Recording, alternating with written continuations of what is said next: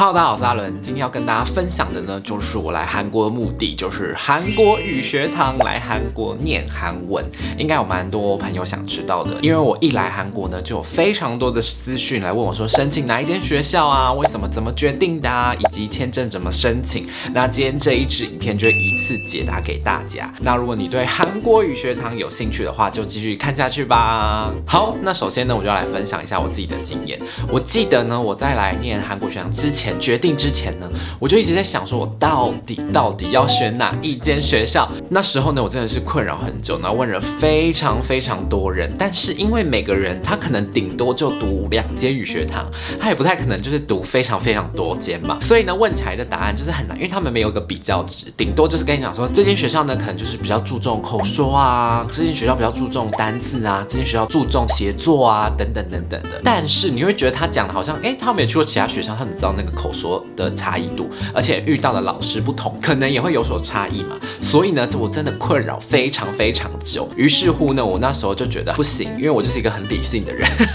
我就把东西分得很细。我就觉得这样比较，我觉得才比较出了一个结果嘛。所以呢，我后来就决定分成学费、地点、师资以及未来升学还有特色这五点供大家参考。我自己也是这样子去划分的。首先学费呢，我觉得这是最最最最直观的，就是毕竟来。游学嘛，真的是不小的花费。你除了学费以外，你还有生活费。这边的生活费、房租什么都比台湾高，所以你学费又在往上拉的话，真的就是有点违贵了，真的，所以会有点压力。那第二个就是地点，因为有些学校的地点呢，可能就是比较远一点点。譬如说像首尔大好了，就真的真的比较远一点。然后譬如说像是一些中央大，也不是说比较远，应该说那边可能相较没有那么都市，没有那么热闹，没有就是来游学的感觉。但像是西江大学呢，就是非常有名的，因为呢，那就是在新村附近，非常非常热闹的地方。那如果你在那边念大学的话，你就同时可以感受到韩国的热闹，边玩然后边上课的感觉是非常有的。所以呢，我觉得地点其实也蛮重要的。如果是像一些比较不在市区的学校，其实你通勤上面或是你找房啊，一些资讯啊，可能就会比较辛苦一点点，或是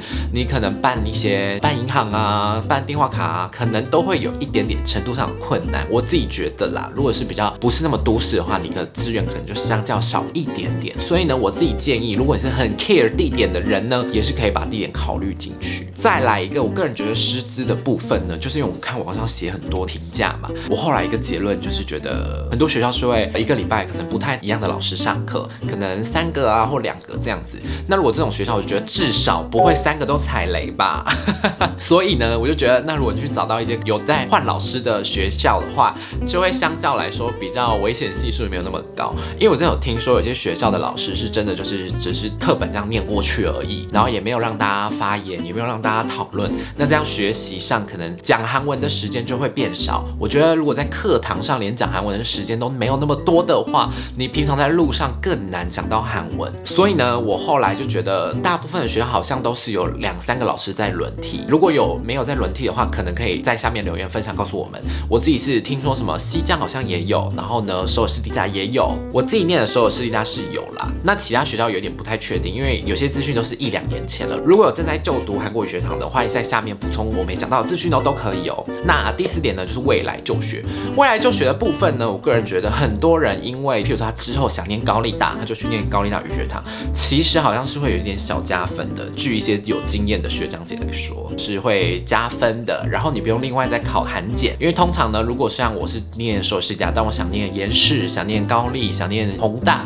我可能就要另外再去考过韩检之后呢，才去做申请。有些学校是会认说，你语学堂念到五级的话呢，就是等同于那个韩检的程度啦。所以呢，如果不想额外考韩检，或是提前想熟悉学校的话呢，我觉得这个也是可以在考虑范围内。如果你是一个比较升学目的的话，我觉得呢，这是非常可以考虑进去的。那最后一点呢，就是一些个人特色啦，就是我刚刚讲到的，譬如说某些学校可能注重写作，某些学校。呢，注重口说，那这部分呢就看各位如何去取舍啦。所以呢，这就是我后来会选择首尔市立大的原因，因为它是学费里面是最最最便宜的一间，再加上它地点也蛮方便的，在回基这边，然后这附近呢就有三间大学，机能也非常非常 OK，就自成一区啦，就是我搭个两站就有 Costco，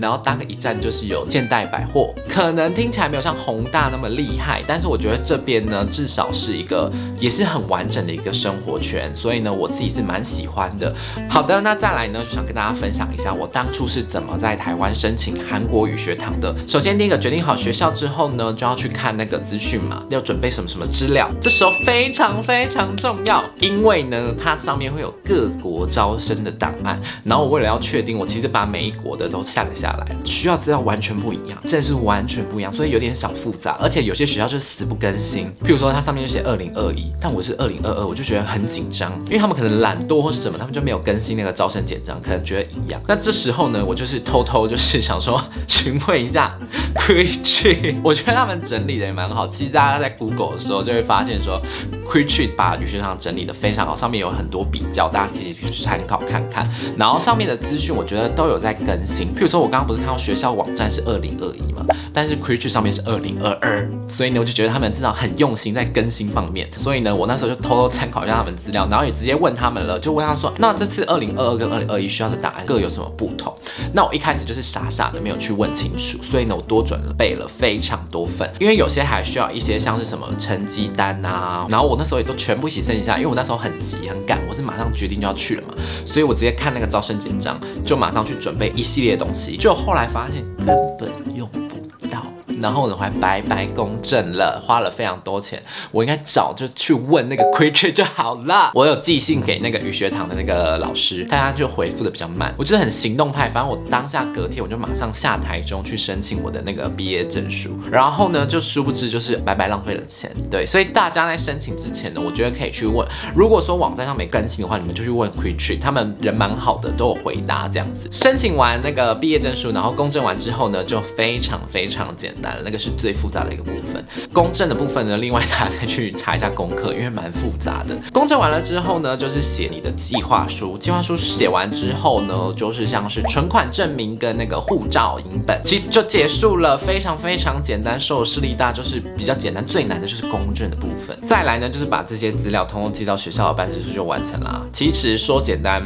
也算简单，说难也有点难，因为假如说你可能。有些东西漏记啊，或是有些东西可能没看清楚啊，就是会被推荐什么。然后因为我那时候时间真的偏赶，压得很紧，所以我很害怕，我想要一次成功。所以于是乎我后面呢直接，因为前面不是有去问 c r e a t u r e 嘛，我就觉得他们更新的很快，然后回复的很快，然后他们上面就是有语学堂的代办服务，所以呢我就去找他们申请了。他们就会帮你看资料有没有正确啊，有没有都有附上啊，然后再帮你一起送件送到学校那边，觉得非常非常赞。而且呢，有些人应该会需要一个服务，是他们是帮你代汇学费。我觉得这个也是非常非常赞的一个部分。因为像我自己是有韩国户头嘛，所以呢，那个服务我可用可不用。可是如果没有朋友或者自己想来的话，这一点真的很困难。而且因为国际汇款就是很容易，那个汇率是非常之烂。譬如说我那时候好像可以有到四一四二的汇率，可是如果是之三八的话。哇，差很多哎！直接算给大家看，我刚刚算完了，直接如果是三百万韩币的话，如果汇率是三八跟四一，就差了五千多块，太多了吧？你这样来回又五千块又没了，我觉得不需要浪费这个钱啦。就是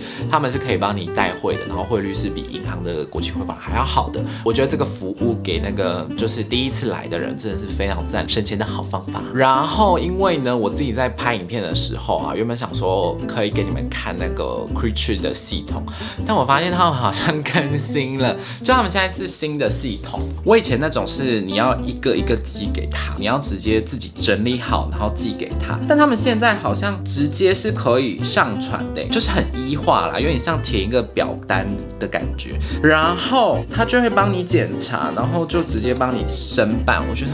好聪明哦，怎么可以这么这么聪明呢？他还可以直接用。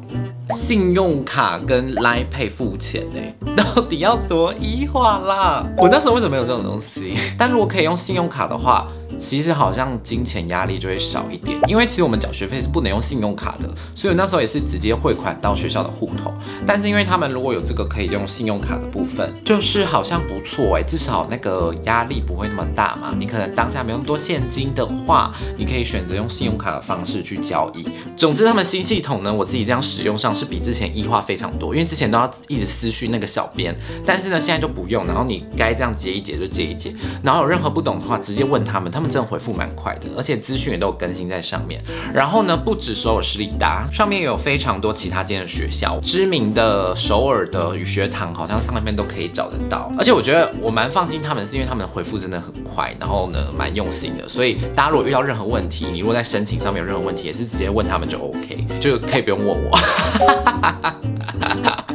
哎，我因为我也只知道首尔势力大，他们上面有很多大学，就问他们就好了，推给别人。那如果大家呢，就是对 Creature 有兴趣的话，我会把资讯也放在资讯栏。我觉得代办这种东西呢，就是省时省力啊。假如说你自己是比较忙一点的话，我觉得找代办是完全很 OK。那如果是比较不忙的话呢，我觉得也可以自己办，因为自己办起来其实说复杂也不会到超级无敌复杂，就是比较浪费时间而已。所以呢，两边就各有各的好。好啦，那以上就是我怎么申请韩国首尔市立大语学堂，然后如何选择啊，需要的资料有什么啊，等等的，一次提供给大家。然后我个人觉得，呃，语学堂是一个蛮适合如果想要来韩国生活体验看看的人，蛮适合的一个选择。其实蛮多人都会问我说，为什么一直很想来韩国？那我自己是觉得，因为我觉得在台湾，我我自己的感受啦，就是比较安逸、很熟悉的地方，很棒的地方。然后每天早上起来啊，可能就会看到家人啊，看到朋友啊，一切都很熟悉、很安定。可是呢，一个人在国外的话，那个感觉就是我喜欢这种我一个人，所以我必须要一个人去做很多很多事情，我必须要独立起来，我必须要负责任起来。可是，在台湾的话，可能就是每一天的话，可能就是